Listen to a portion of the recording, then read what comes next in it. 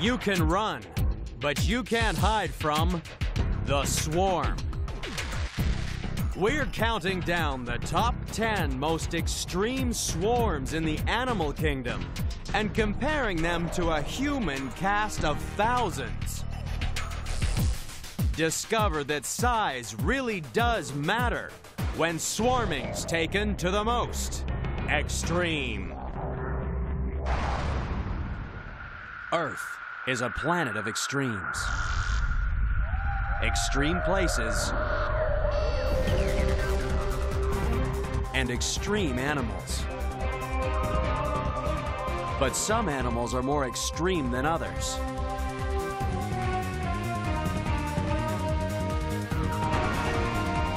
Join us as we count down to find the most unusual and the most extraordinary on the most extreme.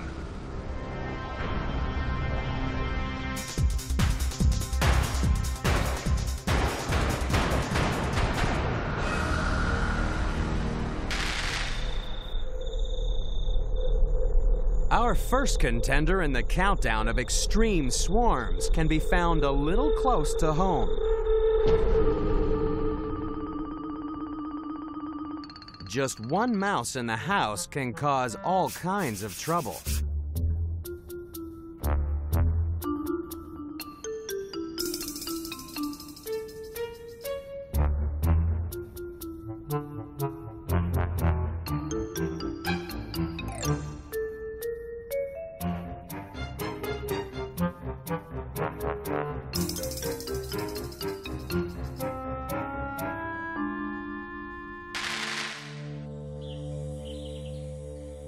Wild, mice can also cause trouble.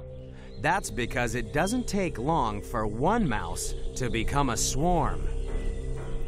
The mouse is number 10 in the countdown because it breeds fast.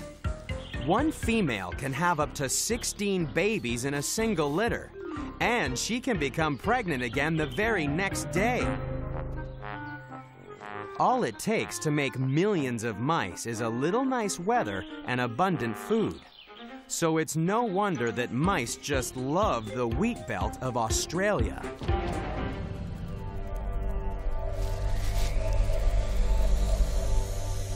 In 1994, a single swarm of mice in South Australia caused over $65 million worth of destruction.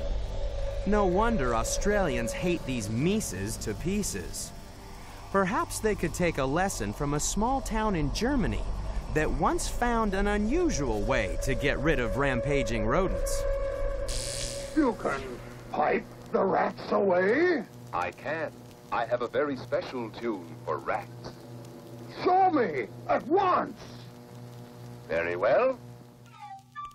According to legend, a Pied Piper once used music to rid a town of rodents.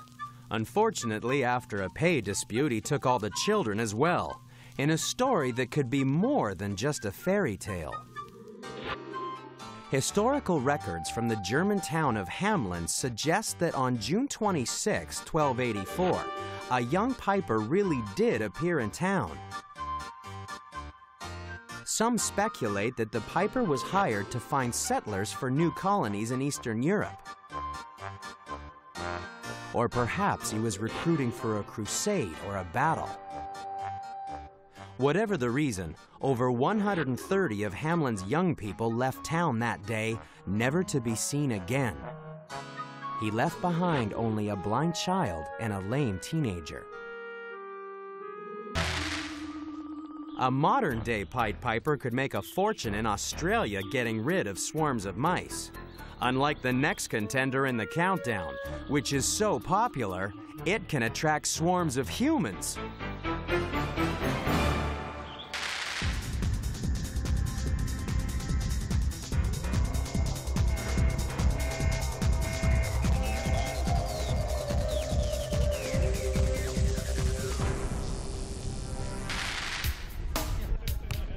All kinds of games are played on the beaches of California, including the game of love. While some come to soak up the sun and seek out a mate, These beaches are also home to number nine in the countdown.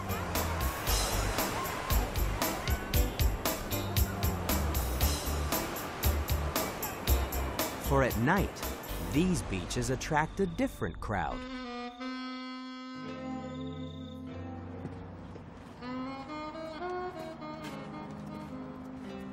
These people are here to see an orgy, but it's all in the name of science.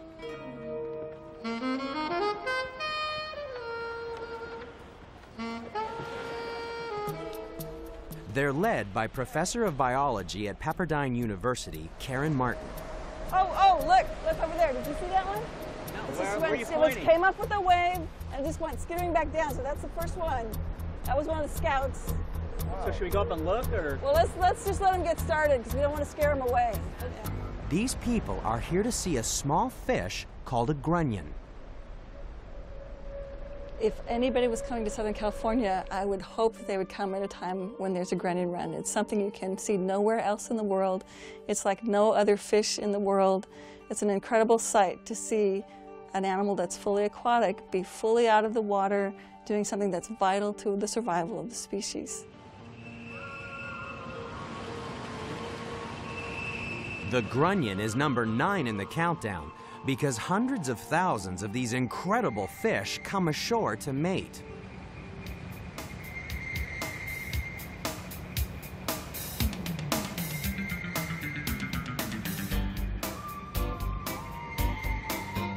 First, the females come ashore, digging in to lay their eggs.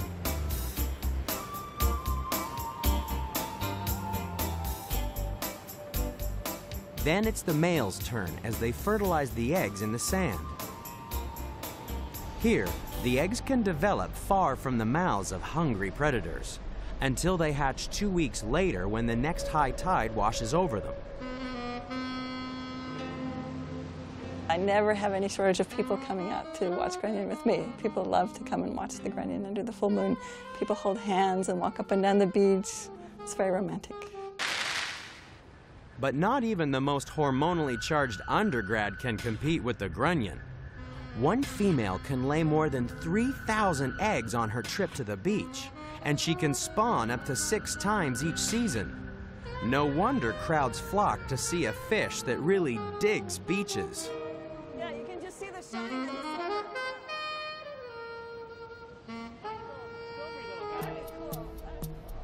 It seems that for graduates and grunions, making out on the beach is a spring rite that will never be wrong.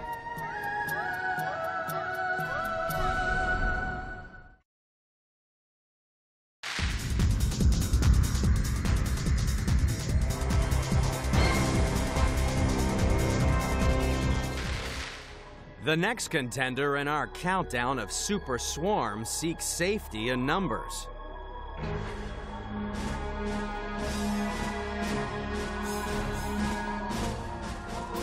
Running in at number eight is the caribou. In the frozen wastes of the Arctic, these large deer stick together in large numbers for a very good reason. Wolves know all too well that caribou in a herd are hard to hunt. There are always hundreds of eyes on the lookout. So it's no wonder that caribou swarm all over the countryside. In Alaska, there are twice as many caribou as people, and it's estimated that the largest herds contain over half a million deer. And this is a mob on the move. There are so many hungry mouths in the herd that some caribou can travel 5,000 kilometers each year in search of new grazing grounds.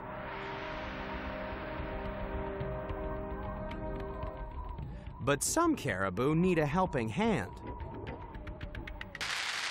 In Scandinavia, domesticated caribou are called reindeer and have been linked to the fortunes of the Sami people for generations.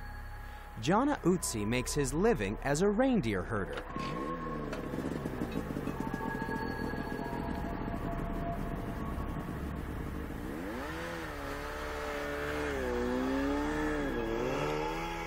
Each spring, Jana and his team escort their herd of reindeer 200 kilometers from the arid interior to the coast to fatten on lush summer grazing.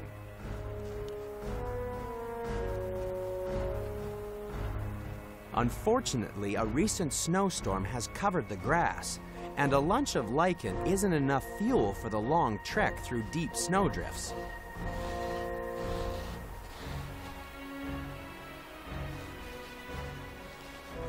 So some reindeer have to hitch a ride.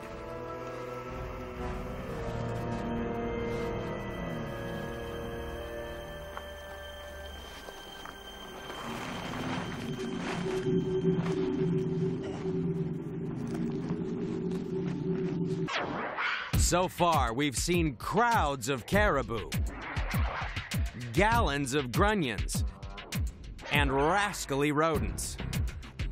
But coming up is a close encounter with a 10 legged terror. That's next on the most extreme.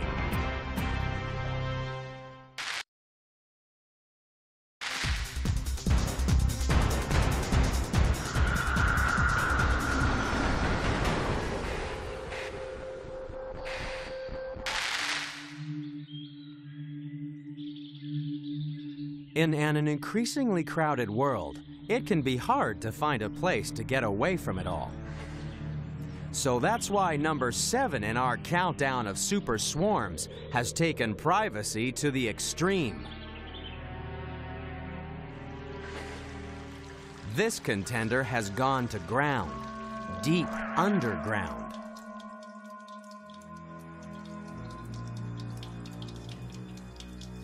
Caves are perfect real estate. They're a safe haven because it can be hard for both predators and intrepid explorers to force their way in.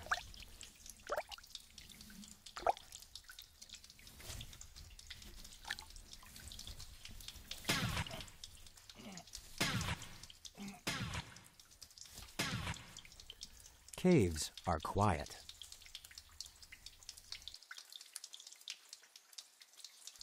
Caves are a constant temperature.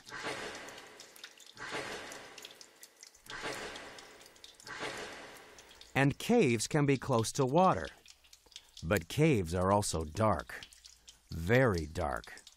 But that's no problem for the animal that's squeaking in to number seven in the countdown. The bat. The Bracken Caves in central Texas shelter the world's largest bat colony. 20 million Mexican free-tailed bats swarm all over the ceiling.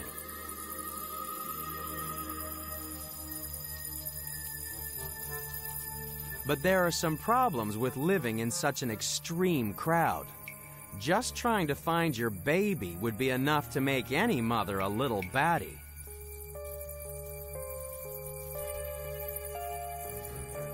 The other problem with living in a cave is the lack of sanitation. So when bats go up, stuff comes down.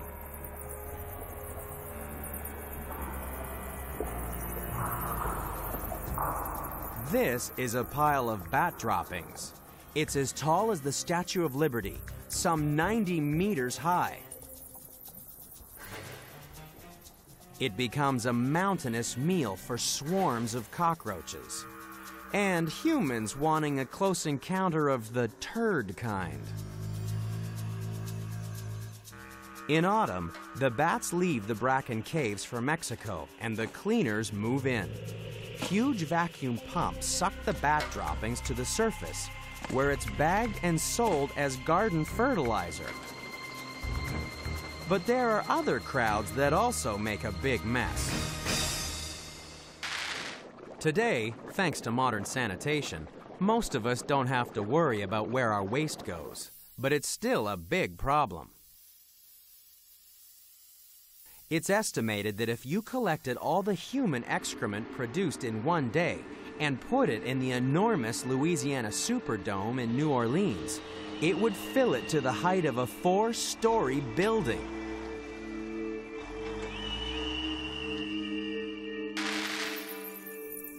The collected droppings of 20 million bats also creates a staggering stench, which might explain why every night this crowd likes to get out for a breath of fresh air.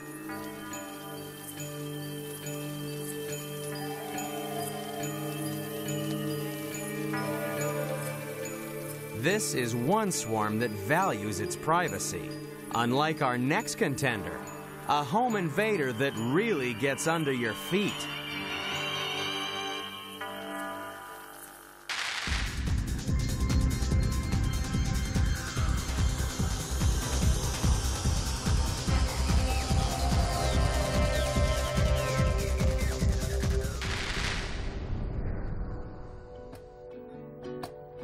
Tropical islands are some of the least crowded places on the planet. Unless you're on Christmas Island in the Indian Ocean, home of number six in the countdown. The red crab. These crustaceans are all over the island like a rash.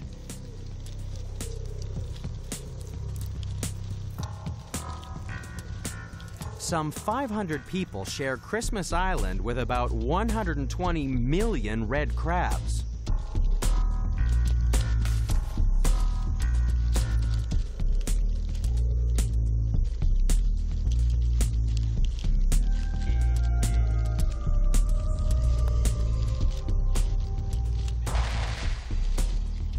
Fortunately, for most of the year, the crabs live inside the forest. But once a year, at the first sign of the wet season, the entire adult crab population marches to the sea.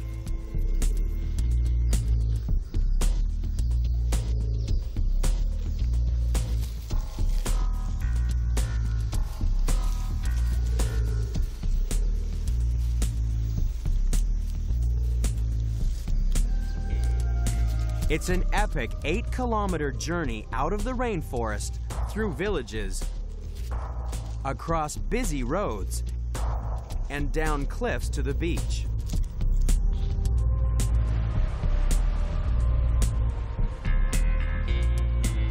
The crabs that survive the week-long trip dip themselves in the water to replenish their body fluids. And then it's time to mate. The red crab is number six in the countdown because an estimated 60 million sex-crazed crustaceans swarm across the beach.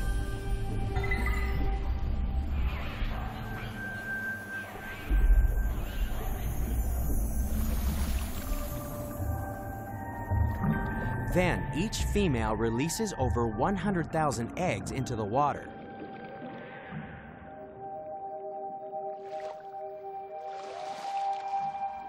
But crabs aren't the only ones living in extremely crowded real estate. In England, the City of London is home to over 7 million people. This may seem crowded, but if the area of the city was divided into tennis courts, there would be one person per court.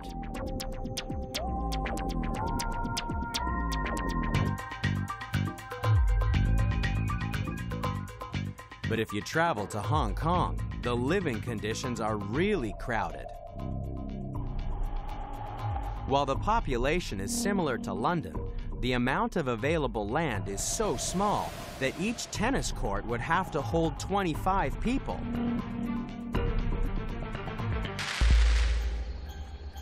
Red crabs certainly don't suffer from demophobia. Even their babies stick together when they return to shore after a month at sea. Then they start their own march up into the forest as part of a swarm so special that it forms its own living red carpet.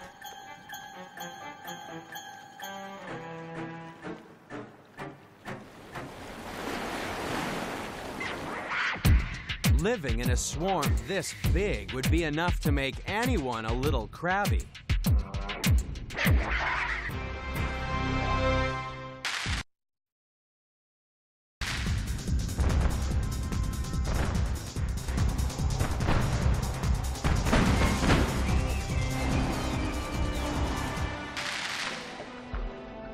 Story of the next contender in our countdown of extreme swarms begins millions of years ago in the islands of Palau, south of Japan.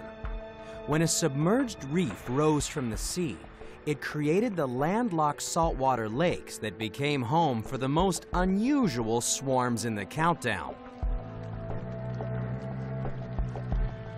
Welcome to Jellyfish Lake.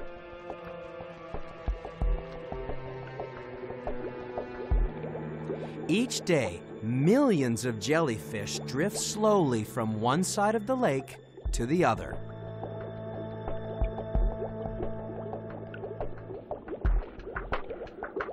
Safe inside their private pool, these extreme jellies have become vegetarian. They feed thanks to millions of microscopic algae growing inside their bodies. The algae collect sunlight and photosynthesize, creating an excess of sugars and proteins which feed the jellyfish. In return, they form a swarm of synchronized sun worshippers. Every day, the jellyfish mass together to swim from one side of the lake to the other, keeping out of the shadows.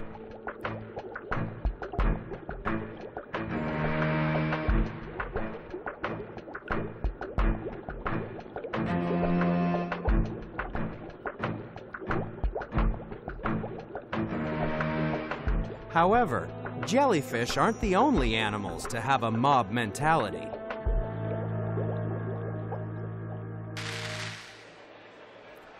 We'd like to think of ourselves as individuals, but there's some evidence that when you put humans in a mob, a different psychology takes over. We've all seen flocks of birds and schools of fish moving as one. But next time you're in a crowd, watch how humans also move in synchrony.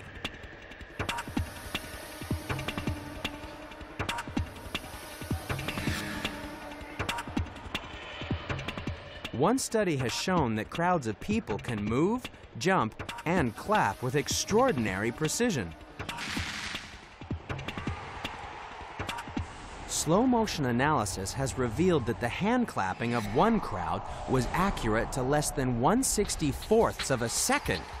Such is the power of mob psychology. The synchronized behavior of the jellyfish is spectacularly impressive, given that these simple animals don't even have a brain. But then it doesn't take much thought to form a swarm.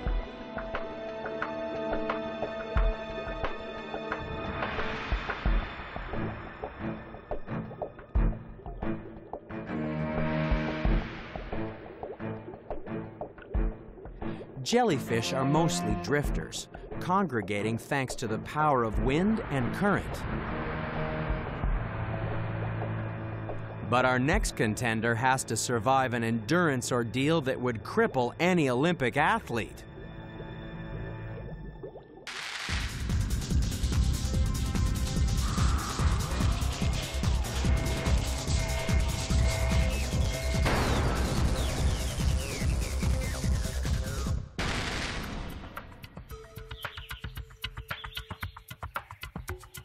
The fourth contender in the countdown of extreme swarms hangs out in the mountains of central Mexico.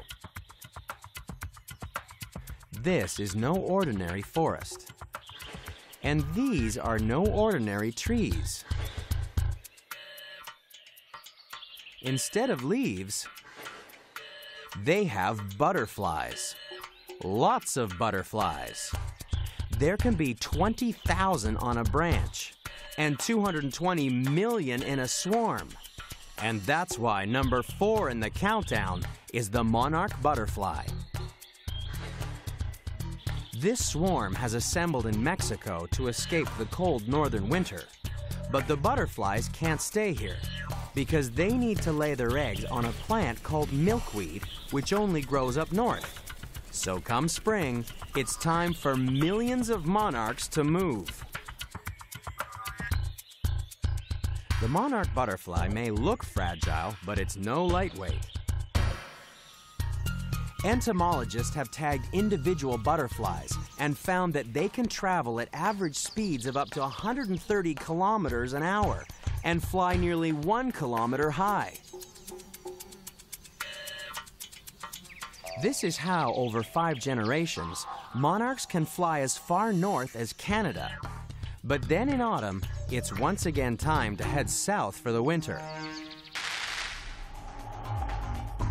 Monarch butterflies really are the ultimate endurance athletes. Some individual butterflies can travel 5,000 kilometers. That works out to be a journey of about 150 million body lengths. If we tried running the equivalent distance, we'd have to travel around the Earth 11 times.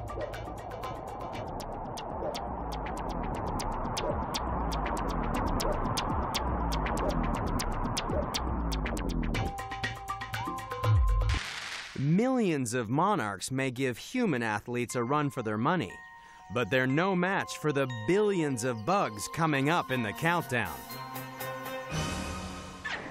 So far, we've seen a sky of butterflies and a sea of jellyfish.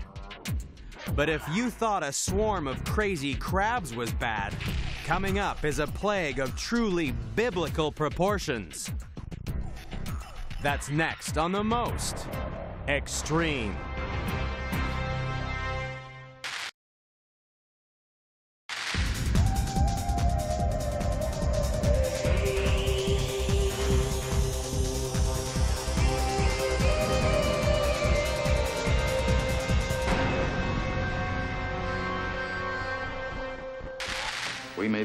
Witnessing the beginning of an era that'll mean the complete annihilation of man. Annihilation?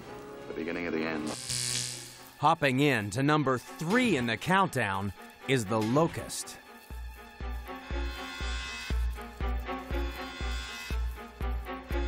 Movie directors didn't need to enlarge locusts to turn them into a destructive force. For what these grasshoppers lack in size, they make up with sheer weight of numbers.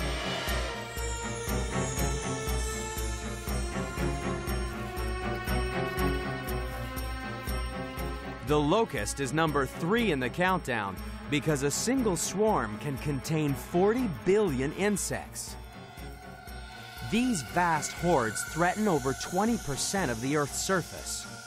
More than 65 countries are at risk of invasion from an army that really marches on its stomach. A single swarm can eat 80,000 tons of crops a day, literally stripping the countryside bare.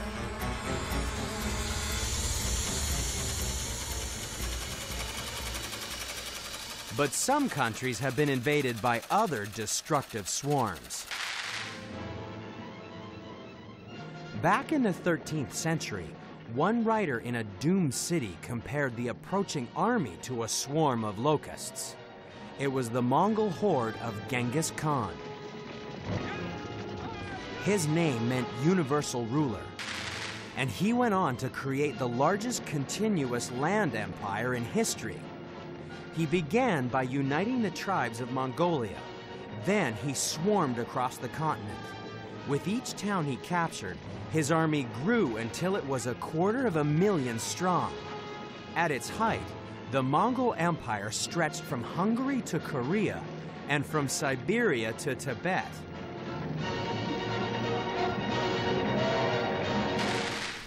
Imagine the size of the empire if Genghis Khan could have traveled like a locust. For when these grasshoppers grow up, they get wings.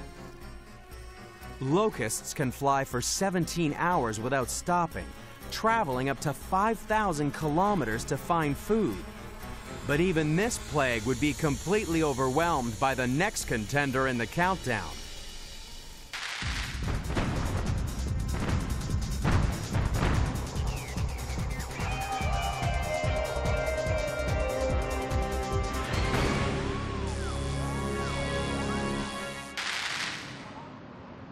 cold stormy seas around Antarctica covers 20 million square kilometers. It's a huge home for a huge swarm of tiny creatures.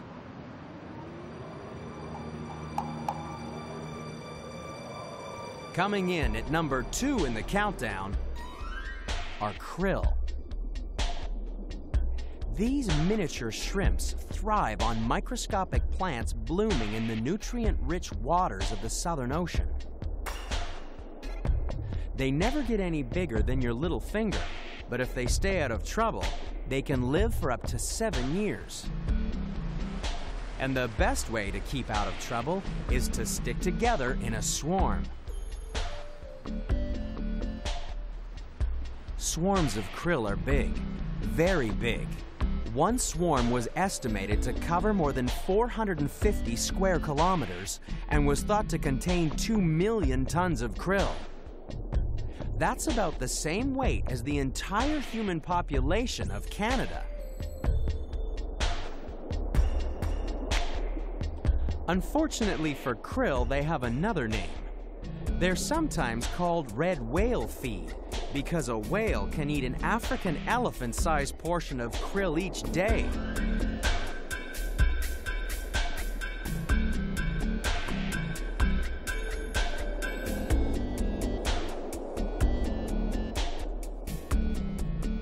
But back on dry land, there's another population that's rapidly forming a swarm of krill-like proportions. There was a time when the human population grew only slowly. Birth rates and death rates were about the same, keeping the population stable. But recently, things have changed, and the human swarm started growing fast.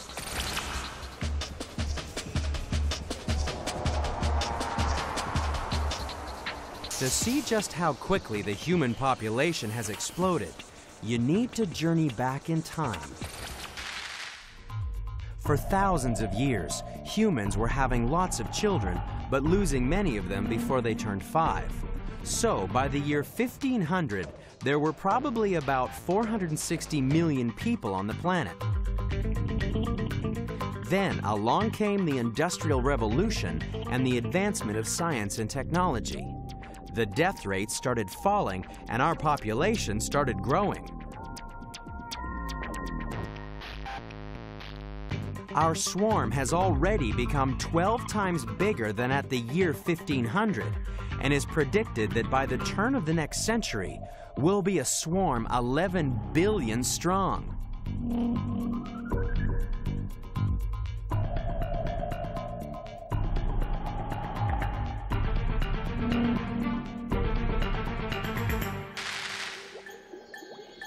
While it looks like humans are taking over the Earth, at least the sea belongs to the krill.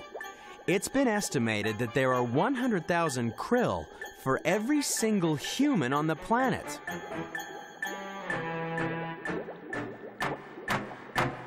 But even this enormous gathering is no match for the most extreme swarm in the countdown.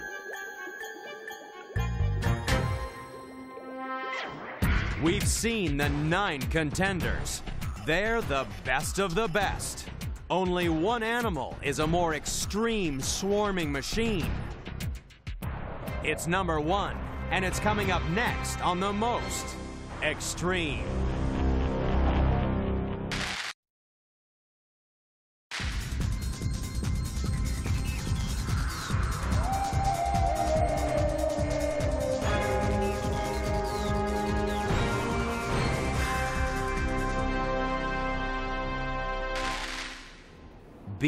Warned. The most extreme swarm in the countdown is a lot closer than you think. A horde of billions have conquered Europe, but it could already be too late to stop the Empire from invading your home. Fighting its way into number one in the countdown is the Argentine ant. These tiny terrors are becoming the most common household pest in the world. They can't sting, but they can bite.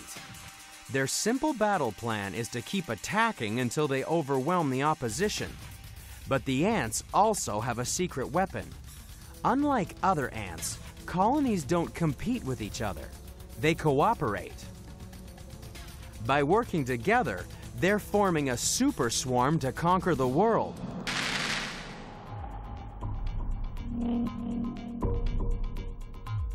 Early last century, the first wave of invaders left their home in Argentina by stowing away on ships bound for Europe. The army of ants wiped out native species as they advanced. Now, there are billions of Argentine ants in millions of nests, and they're all genetically related. That's why these ants are number one in the countdown. Their empire stretches 6,000 kilometers, all the way from Italy to Spain. It's the biggest super colony in history. The closest thing to a human super colony occurs once every 144 years in India. The Mahakumbh is the most sacred of all Hindu pilgrimages. That's why in 2001, an estimated 70 million people visited Allahabad on the Ganges River during the six week festival. It was a time to cleanse the soul and wash away sins in the purifying waters of the river.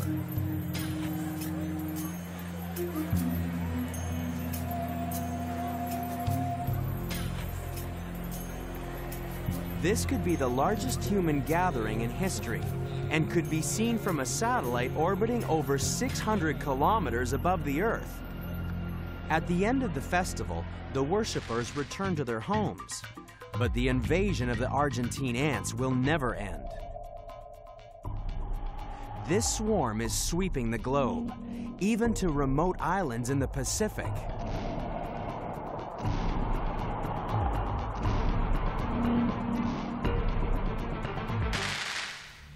They've even managed to invade a school playground in Auckland, New Zealand, home of professional entomologist Ruud Kleinpaste.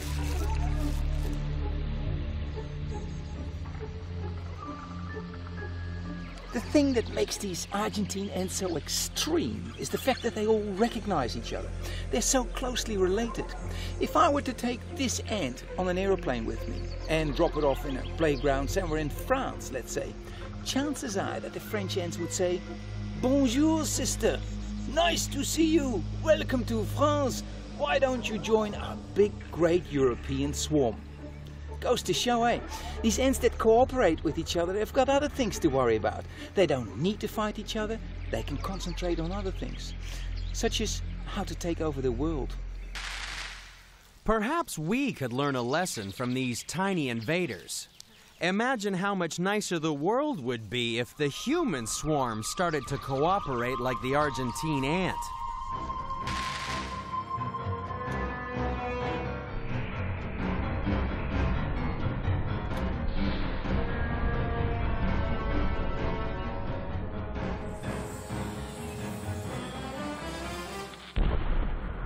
For when it comes to swarming, there can be no doubt that the Argentine ant really is the most extreme.